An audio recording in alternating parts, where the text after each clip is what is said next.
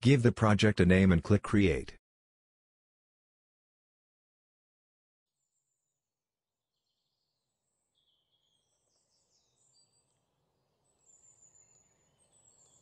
Now copy what I am typing. Don't worry if you miss anything I will make sure to give code and description.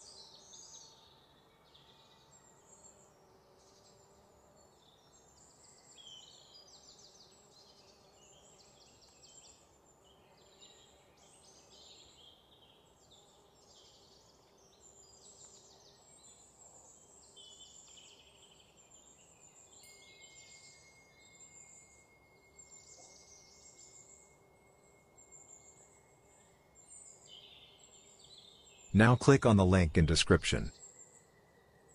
Click on download. Now open the downloaded folder and follow me. This will be your clock's font.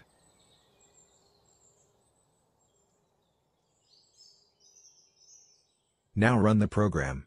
And that's how you can create a clock in PyCharm.